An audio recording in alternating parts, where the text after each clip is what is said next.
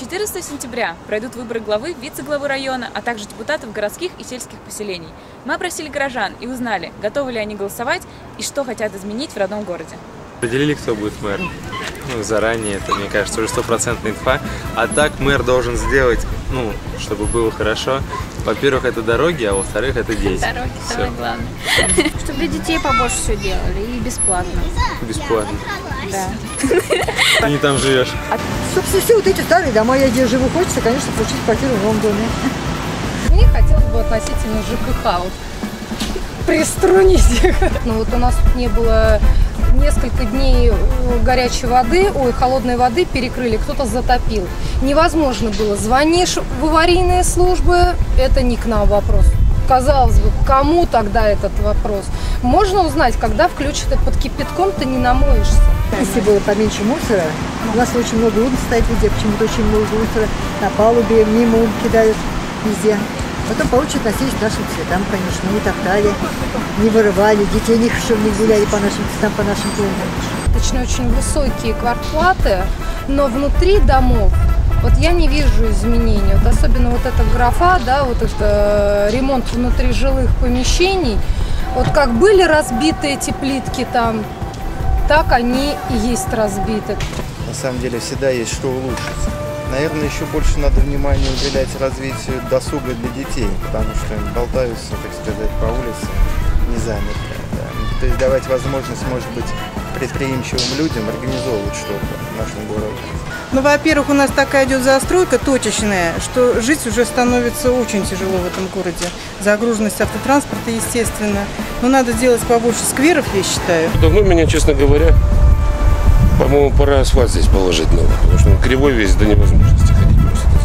И мы видим, что администрации, около администрации много спортивного. Вот это направление мне очень нравится. Сама я из Красноярска, кстати. Скамеек побольше понаделать. Сидеть негде. Ноги не ходят, вот мы старые и негде сидеть. То, что меня больше всего волнует, это вот эта вторая поликлиника. То есть такое помещение, это же бывшая амбулатория, насколько я помню, э, Баковского резинового завода. И она до сих пор существует. И столько народу к ней прикреплено, что очень тяжело. И врачам тяжело работать, и нам, в общем-то, э, паци- пациентам тоже трудно. Чтобы поставить ее, надо спрашивать людей с первого этажа. А Они, естественно, не хотят, потому что пьяницы все собираются, все. Ну вот здесь вот стоят везде скамейки, никаких пьяниц нету. Но у нас около дома пьяницы. Ну, а положительно, конечно, город красавец. Что там говорить, господи, мой. А вот, вот этот вот парк, который рядом с, администра- с администрацией, вообще замечательно. Там отдыхается одно удовольствие. В общем, не знаю, вот сидишь, посидела, теперь не знаю, где посижу. Около столба постою, пойду. А так, в принципе, что, все, в общем-то, более-менее нормально. Один из самых чистых городов. Здесь очень приятные люди. Всегда очень весело, всегда много народу, компания, друзья. Классно. Цветы у нас.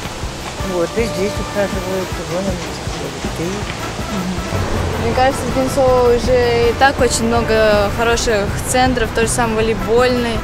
Тут, я знаю, у нас и баскетболом занимаются, волейболом, бадминтоном, всеми видами спорта. Чуть ли не профессионально. Чтобы побольше было детских садов. Ну, детсады меня не волнуют уже и еще. Вот.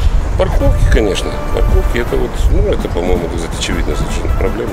Как, ее решать? Наверное, просто нужно какие-то более жесткие нормативы для застройщиков э, ставить, чтобы больше, меньше ставили этих коробок, а больше каких-то инфраструктурных вещей. Вот сейчас вот сколько слышу, э, глава администрации Иванов, э, так, в общем-то, пока не знаю, пока э, вроде дела не расходятся с теми обещаниями. Если у него будет так продолжаться, то добрый путь ему, добрый путь. Мне Александр Альбертович нравится, нравился и нравится. Вот. Нынешний мэр, он показал себя таким деятельным, очень активным, и это очень приятно. А вы на выборы собираетесь идти? Да мне уже 83 года. Надо идти или нет? Не знаю. Это выбор у нас через дорогу, да? Мне было 18, я бы, конечно, пришла бы на выборы. Да, на выборы я пойду. Ну, естественно, надо идти. Я всю жизнь ходил на выборы, только не всегда выпадает то, что хотел бы по выборам. Вот общий такой, как бы вот именно принципиально еще к этому вопросу не подходила. Может быть, будет ближе уже что-то, и тогда действительно посмотрю в лица, в глаза, почитаю поподробней, и уже как женщина, да, вот сердцем, что называется. Ну, на выборы мы, конечно, пойдем 14-го. Обязательно. Ну, подумаем. Мы семьей подумаем, семьей пойдем на выборы. Политически, как сказать, indiferente.